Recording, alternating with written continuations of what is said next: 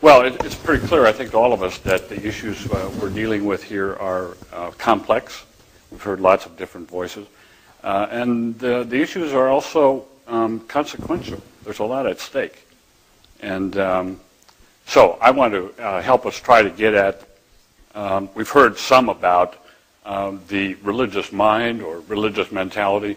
Uh, and I'd like to help us uh, try to get um, to one way of thinking about the nature of religion, because I think that's an important thing to sort out. Um, first, let me, let me just indicate that I think uh, it's possible to both generalize and naturalize religion. There is a, there's a view out there, sort of postmodernist notion, uh, that it's impossible to generalize across cultures, that every culture uh, is sui generis, that there is no commensurability between cultures, and I think uh, that's probably wrong. Uh, and I think we can, in fact, uh, seek out some cultural universals and come up with a general theory of religion. There's another widespread notion out there that suggests that you cannot naturalize religion. Um, and this is, um, I think, in part due to the influence of a great historian of religion, Mircea Eliade, who said that religion is really about uh, the sacred. And since the sacred cannot be naturalized, uh, you cannot naturalize religion. Well, I don't think religion is about the sacred, actually. Uh, I think we can make a distinction between the goal of religion, the motives of religion, and the function of religion. Those are all teleological notions, but I think uh, the goal of religion is one thing. Uh, when I was a kid, growing up, uh, like everyone else, I, I, assumed that religion was about God, uh, and that the goal of religion was to come into some sort of relationship with God. And I think uh, for most devout people, that is what religion is about. That's the goal of religion. The more I looked at religion and religious behavior, the more I could see that beneath the goal of religion, uh, there were motives uh, at work in religion, and, I saw that these motives were primarily therapeutic and political. So I got thinking religion may be uh, on the surface about God, but if you dig down a little bit, it's really about therapy and politics. That is, it's about personal wholeness and it's about social uh, coherence. And so, if those are the motives of religion, I, I looked at that very carefully, and I, the more I looked at these motives of religion, the more I saw a biological function, uh, which which happens to be uh, reproduct, re- reproductive fitness. Now, I think that's pretty reductionistic, and if that's the case, then I can try to defend that later on. But anyway, uh, what I want to suggest, so we had those differences between um, um, the end or the, the goal, the motives, and the uh, function. I think we can understand religion if we can um, sort out the structure of a religious tradition. I think there is an underlying structure uh, behind uh, all religious traditions, uh, and I think we can sort out the functions uh, that religion performs, and I think we can say something about their origins. So if we understand the structure, the functions, and the origins of religion, uh, I think we have a, a good understanding uh, of what religion is. I can't say much about the origins today, but I think I'll try to say something about uh, the structure uh, and the function. Um, in my view, all religious traditions are narrative traditions. They have at the core, at the center, way down deep, uh, a myth, a story. And uh, it's not just any old kind of story, it's a special kind of story. Um, and um, is that me fading away or is that something else? uh,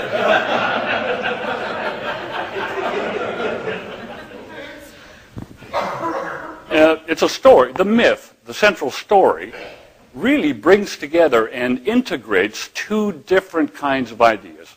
Uh, every religious tradition has cosmological ideas, that is, ideas about how things are ultimately in the world.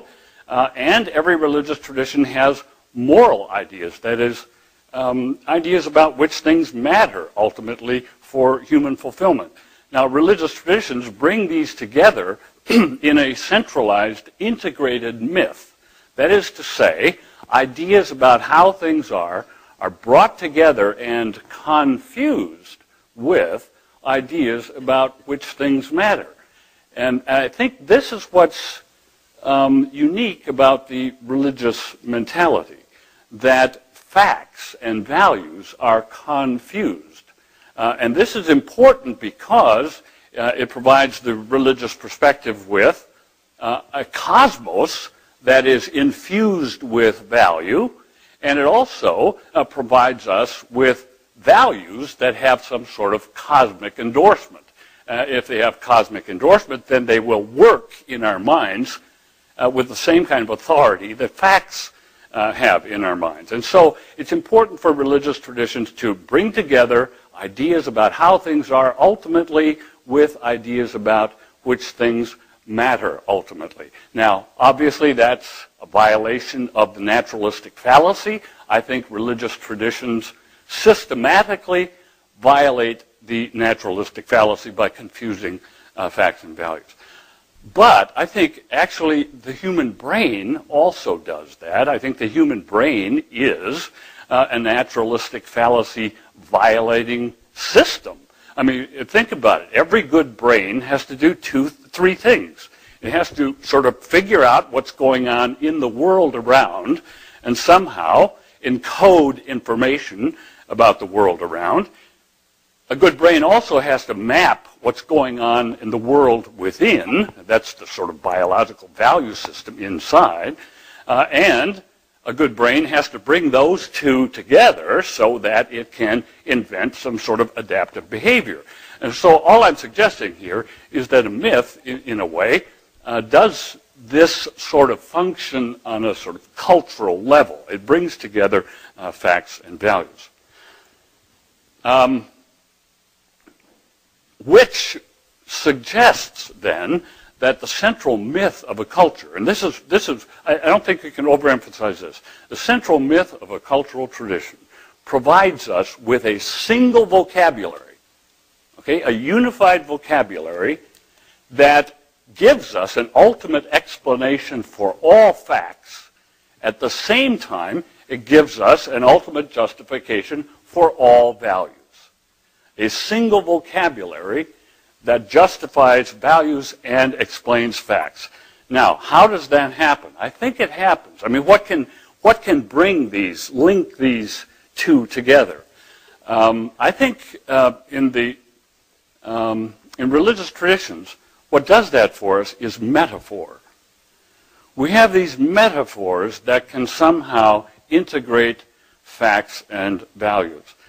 Um, now, the metaphor in the Abrahamic traditions, that is the dominant metaphor, is the metaphor of God as person, the personal God. This brings together uh, facts and values. Uh, it provides the ultimate explanation for facts, the ultimate justification for values, because, in fact, God is the creator of the world, creator of all reality, and God is also the author of the moral order. One God creates both the world of facts and the world of values. So that one God uh, functions then as the ultimate explanation for facts and the ultimate justification uh, for values. This is in the Abrahamic traditions. Other traditions have other metaphors uh, that work uh, to provide the same function. In uh, Indian traditions, the Dharma is that kind of uh, uh, metaphor. In Chinese tradition, the Tao. In ancient Greek tradition, the Logos. Uh, these are notions that integrate fact and value.